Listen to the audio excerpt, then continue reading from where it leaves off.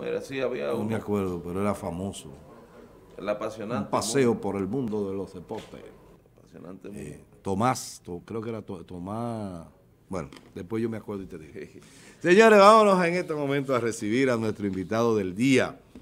Hoy está con nosotros el abogado Jorge Peña. Jorge Peña, que ustedes conocen porque es una especie de consultor externo de, de mañana. Sí. Así se le puede decir. Cada vez que tenemos un tema laboral, a la primera persona que acudimos es a Jorge, que siempre con su gentileza acostumbrada nos ha dado respuesta adecuada para que ustedes se informen y, y entiendan algunas cosas que eh, los que no son abogados no entienden a veces. Pues con él vamos a conversar sobre el teletrabajo y su regulación en la República Dominicana. Licenciado Jorge Peña, abogado especialista en Derecho Laboral. Buenos días, Jorge. Buenos días, buenos días a todos. Buen día. Para nosotros es un placer tenerte acá y comenzar a conversar contigo acerca de un tema que no todo el mundo domina, que no todo el mundo maneja, pero que cada día que pasa se va haciendo más cotidiano el hecho del teletrabajo. De hecho, nosotros eh, lo practicamos acá durante la cuarentena. Estuvimos haciendo el, progr- el programa de mañana por unos tres meses, desde, la, desde la casa. Cada quien eh, produciendo, ¿verdad? Su, su- su propia, su propia imagen, manejando eso. Adelante, ¿qué tú nos dices? Precisamente el teletrabajo se trata de eso, de, de la realización de la labor, del trabajo, de las actividades laborales a remoto, ¿verdad? A distancia, fuera de las instalaciones de la empresa. Y esto no es nuevo, porque a medida que la tecnología se ha ido desarrollando vertiginosamente en los últimos 15, 20 años, en países mucho más desarrollados, ya el teletrabajo es una realidad y eso ha, ha- ha dado con la necesidad de que se vaya regulando en algunos países. ¿Qué pasa? Bueno, el caso de la pandemia ha acelerado bastante este proceso y ha puesto en práctica la modalidad del teletrabajo eh, en, en el mundo entero, en los países que ni siquiera soñaban en estos años involucrarse con el teletrabajo o en países donde era muy tímida la actividad del teletrabajo, esta modalidad laboral. ¿En qué consiste?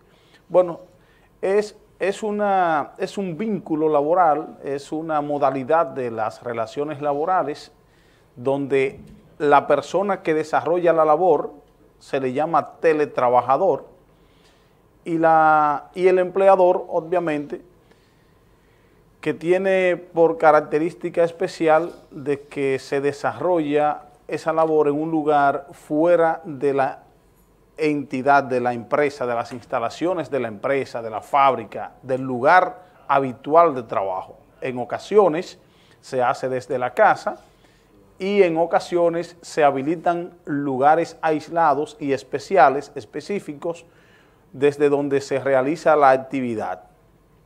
Algunas cuestiones importantes porque aunque para algunos puede que sea extraño, tanto el término como la, la modalidad, en los años venideros, pues esto va a ser muy común. Una pregunta, Jorge. Se me ocurre pensar, el tema de, bueno, uno de los elementos fundamentales de la relación laboral es la subordinación, que es lo que determina la existencia del contrato de trabajo. Ah, corrígeme, porque yo de eso no sé. Lo mismo que tú sabes de aerodinámica del viento. sé yo de derecho laboral. Pero Sí, pero esa, esa es la condición elemental Exacto, para exacto. identificar un contrato de trabajo, la subordinación. Ok, eh, la pregunta es esa. ¿El tema de la subordinación se puede desarrollar de manera adecuada con el teletrabajo? Recuérdate que un patrón, el patrón está acá y, el empleado está en quién sabe dónde. Sí, lo que sucede es que la subordinación no es una cuestión propiamente de hecho, sino jurídica. La subordinación es jurídica, es la capacidad, la facultad que tiene el empleador de dirigir, de supervisar, de instruir, de orientar al, al trabajador. y esto no necesariamente tiene que darse eh, eh, de manera personal, sino que puede ocurrir en que un trabajador ya tiene las orientaciones y las instrucciones del lugar y no hay que estarlo vigilando de manera directa, no necesariamente, pero el, la subordinación lo que implica es que el empleador tiene el control de la actividad, de la, de la relación, y esa subordinación es jurídica que se complementa con el pago del salario y con la prestación del servicio. Esos son los elementos constitutivos. La prestación del servicio, el pago del salario y el elemento de la subordinación jurídica que ejerce el empleador, que es la parte fuerte en la, en la relación laboral, frente al trabajador. Jorge, entonces, ¿cómo está regulado esto del horario? Por ejemplo, eh, recuerda que tú puedes trabajar desde tu casa.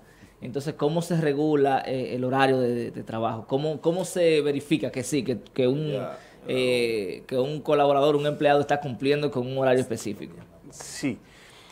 eso ha sido un poquito tortuoso el proceso de implementación del teletrabajo, precisamente porque en, ese control directo que se debería tener con el trabajador, más cuando los trabajadores no tienen la suficiente conciencia o la suficiente responsabilidad o espíritu de compromiso para que sin que lo estén vigilando, pues eh, hacer las cosas bien. Cuando eso es así, se complica, pero la, ley, ahora mismo en la República Dominicana existen para el sector privado, existe una resolución recientemente emitida, puesta en vigor ahora, el día 12 de diciembre, del Ministerio de Trabajo, la, la 130-20, esa resolución del Ministerio de Trabajo,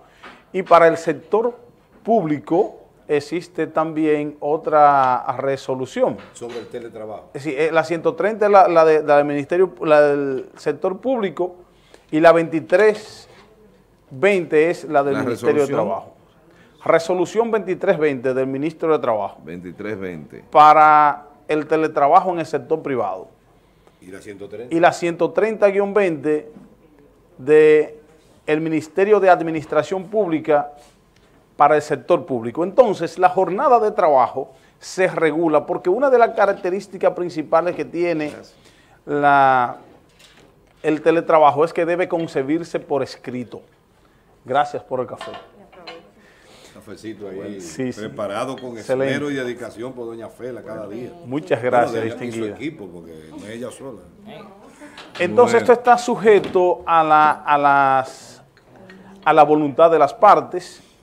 El empleador tiene la posibilidad de instalar eh, sistemas de controles, de vigilancia, siempre que esto no afecte la intimidad del trabajador, que es uno de los elementos que ha traído más debate en esto ¿eh? en esto de, del teletrabajo. Jorge, escuché, porque admito no haber eh, leído realmente lo que tiene que ver con, con la regulación, que no puede ser en el dispositivo de la persona, del empleado. Así es. Se tiene que ser un dispositivo aparte. Tiene que ser dispositivo aparte y, tiene, e, esto estaría monitoreado y regulado por, por el Ministerio de Trabajo, la Inspección del Trabajo, tiene que estar sometido, un contrato de trabajo, de teletrabajo, tiene que estar sometido a la Dirección General de Trabajo y aprobado, registrado allí tiene que contar con todos los elementos y las condiciones esenciales y los aspectos que no afecten la, parte de la intimidad, la parte moral de, de, la persona del trabajador cuando el trabajo se va a realizar desde su casa. Allí no se pueden instalar cámaras generales.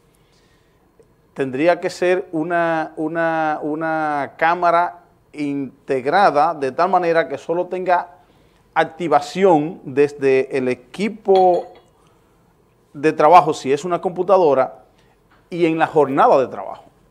O sea, incluso el teletrabajador tiene derecho a desconectarse cuando ya la jornada de trabajo ha cesado. O sea, el, empleador no tiene la posibilidad... No, va a haber hora extra ahí. Bueno, es posible no elaborar hora extra, pero si se acuerda como tal. Lo que sucede con esto de teletrabajo informal, que es lo que se ha estado dando de manera general, es que los, em- los empleadores eh, no dejan, eh, este, o sea, el WhatsApp, eh, los correos, aún fuera de la jornada de trabajo, Lo, ut- lo uso. tien- lo, lo usan. Y los trabajadores lo admiten y lo permiten, pero esa es otra regulación que va a tener que tomarse en cuenta porque no, no, no procede en la hora de descanso tener actividad laboral de ninguna manera, ni siquiera responder Jorge, un correo. Mira una cosa. Para mí las resoluciones vienen a traer un remedio. Oyeron, para que no me estén llamando a mí fuera de horario. ¿eh? Es decir, la- las resoluciones vienen a remediar. Sí. Eh, yo quiero de tu, de tu propia experiencia. Sería infructuoso laborar amparado al código laboral nuestro, el teletrabajo. No, porque, Porque fíjate creo que, una la- de la las... ley, eh, Lo que pasa es que el código de trabajo, la resolución viene a complementar. reconoce el contrato Sí. cuando se hace constante y para las mismas y la pero misma persona. el Código de Trabajo Ajá. establece unos niveles de flexibilidad en la relación laboral que hace posible que por mutuo acuerdo se desarrollen una, una serie de modalidades de trabajo. Por ejemplo, no he hablado de las modalidades del teletrabajo. Puede ser totalmente remoto, a distancia, puede ser a modalidad mixta, semiparcial, dos días yo voy al trabajo, tres días lo, lo laboro desde otro lugar o desde la casa, y, y esas modalidades. Entonces, esa, esa flexibilidad que, que tiene el propio Código de Trabajo para que las partes puedan viabilizar su vínculo laboral y hacer lo posible y adaptarlo. ¿Por qué no estaba regulado el teletrabajo? Bueno, nosotros tenemos un Código de Trabajo de 1992. Sí. En esos tiempos no se hablaba de Ni tele- eh, esa- remoto ese también, término no, no- no- no existía, el teletrabajo. Eh, ¿Qué sí existe? Bueno, el trabajo a domicilio, artículo 228 y siguiente del Código de Trabajo, pero el, el trabajo a domicilio no contempló, no previó la posibilidad de que estuviéramos hablando hoy de un trabajo facilitado por la vía de las, Te de las poner- tecnologías de la, y la Te comunicación. voy a poner un ejemplo. La secretaria que está haciendo teletrabajo porque su edad no le permite ir a- físicamente al lugar, pero ella tiene que hacerle las habichuelas a su familia. Y ella tiene una habichuela puesta.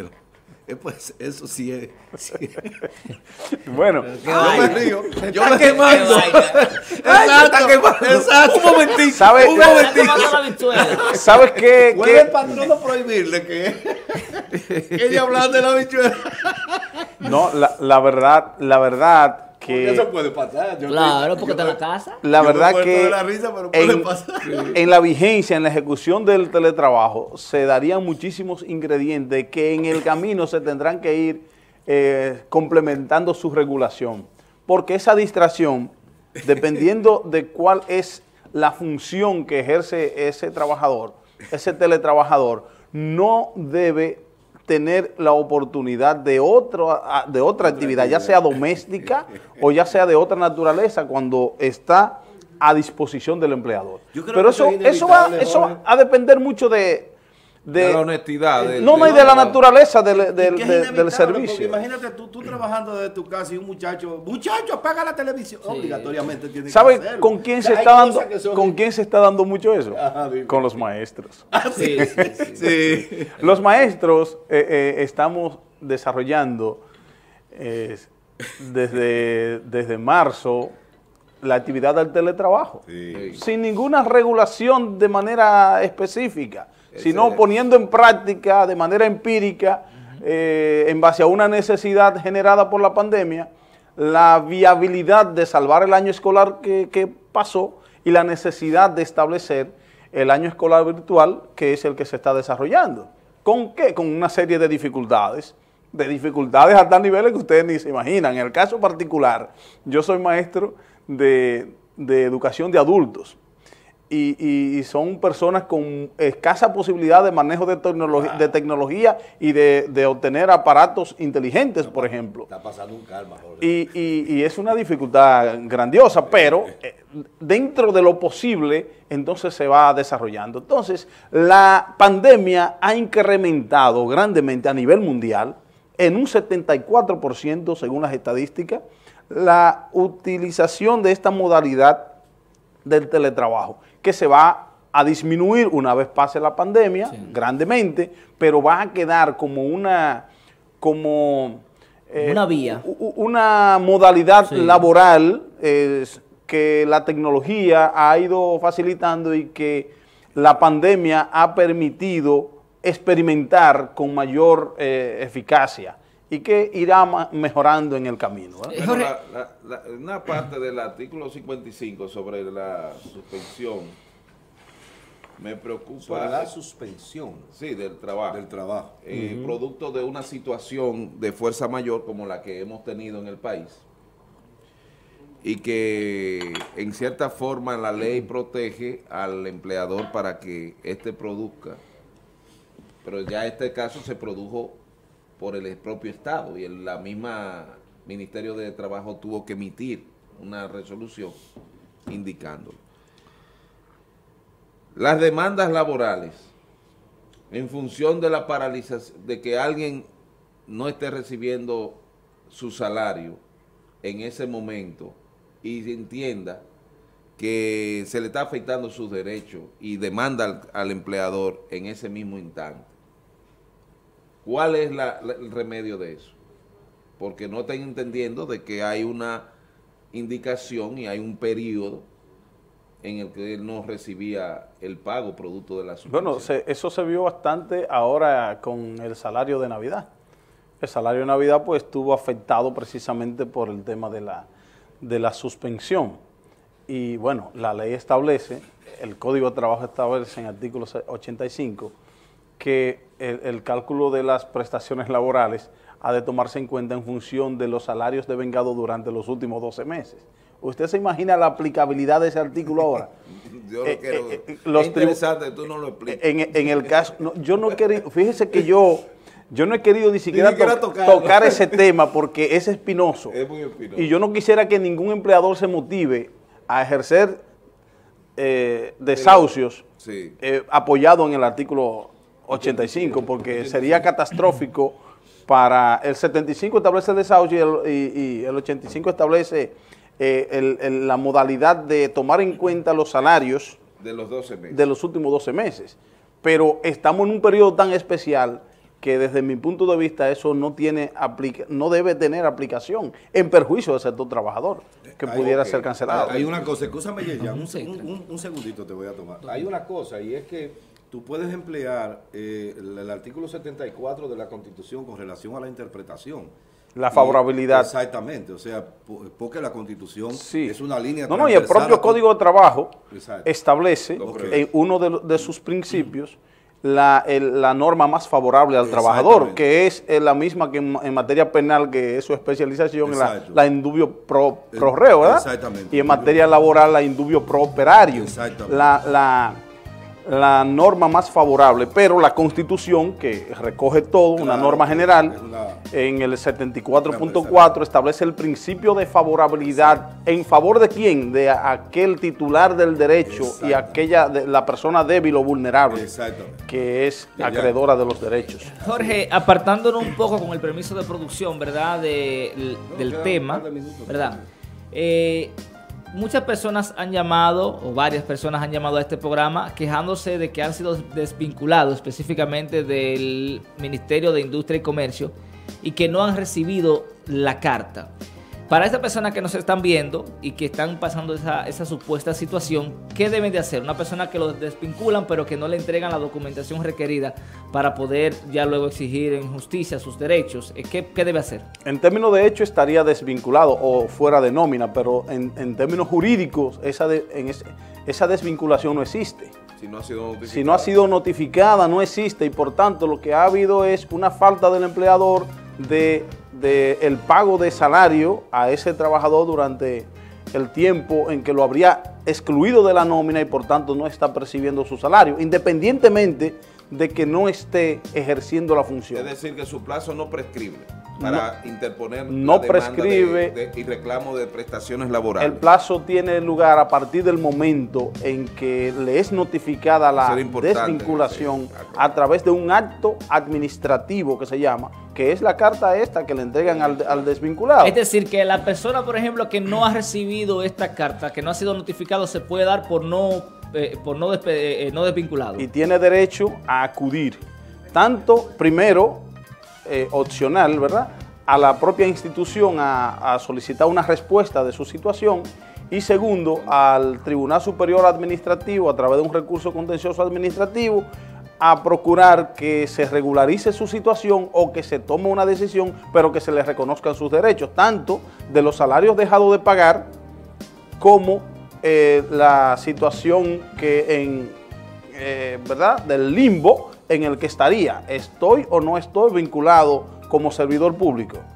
Correcto. Eh, Jorge, mucha gente no entiende eh, eh, cómo hacer esos procesos. En caso de algún número para contactarte.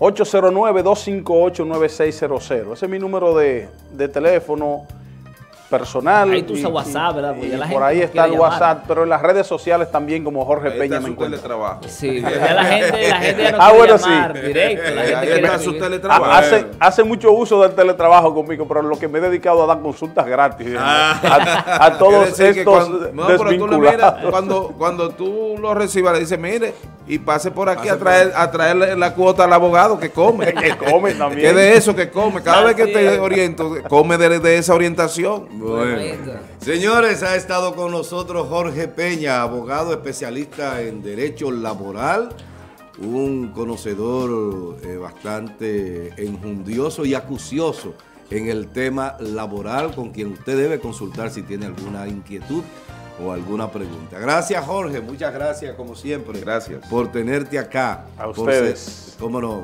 gracias a ti. Bueno, nosotros vamos a la pausa, regresamos en breve, no se vayan.